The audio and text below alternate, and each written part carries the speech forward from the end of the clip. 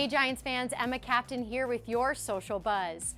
We are all excited for the season to kick off on Sunday, including several Yankees.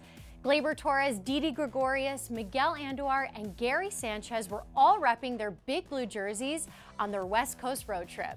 Now, Sterling Shepard, who is looking to make an impact on the field this year, was recently featured on the cover of ESPN magazine. Looking good, Shep.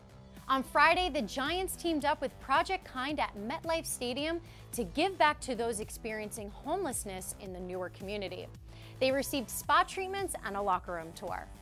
Now, finally, on Wednesday, several players were in Victor Cruz's hometown of Paterson, New Jersey, and made a surprise visit to JFK and Eastside High School's joint practice. The day ended with a $10,000 equipment donation to each school. That's a wrap for this week. I'll see you guys next time.